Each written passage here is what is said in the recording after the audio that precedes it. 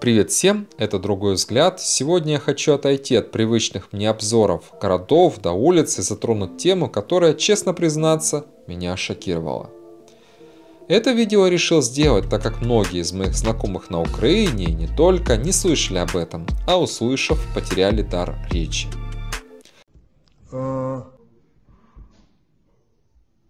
а, а, в, Итак, что ж за новость-то такая?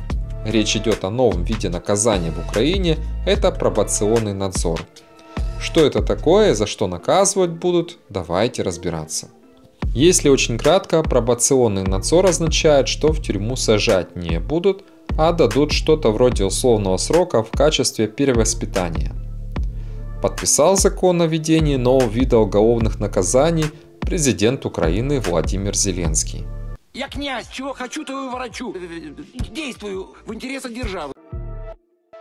Как пишет юридический вестник Украины, пробационный надзор теперь может быть применен за ряд преступлений.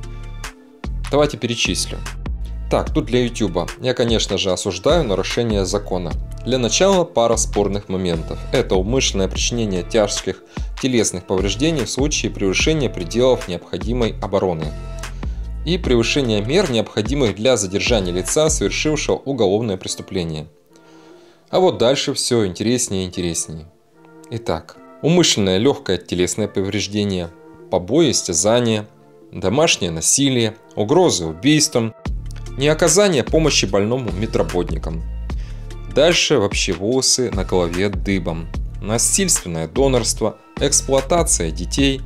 Это вот как в голову-то вообще пришло. Принуждение вступления в половую связь. Вот у кого-то есть дочь, у кого-то сестра, жена. Я вот понять не могу, как же это в голову могло прийти, чтобы за такое просто поговорить и отпустить. Нарушение порядка финансирования политической партии предвыборной агитации. Ну, тут, видать, очень кому-то нужно просто было. Уклонение от уплаты алиментов, разглашение тайны усыновления, препятствование профессиональной деятельности журналистов, грубое нарушение законодательства о труде, невыплату зарплаты, стипендий, пенсии или других установленных законом выплат. Нарушение неприкосновенности частной жизни, право на получение образования и на бесплатную медпомощь. Далее.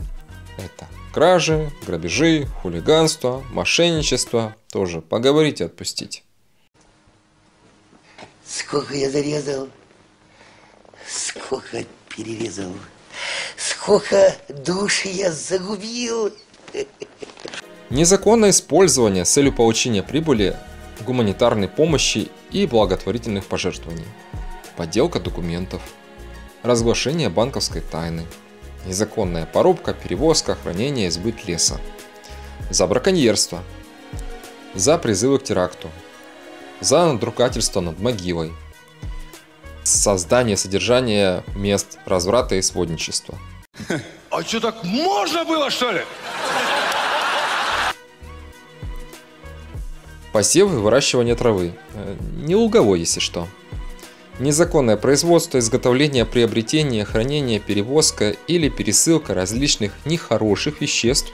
Думаю, все и так понимают, о чем речь. И еще раз о наказании. Суд возлагает на осужденного к пробационному надзору следующие обязанности. Периодически появляться для регистрации в уполномоченный орган по вопросам пробации.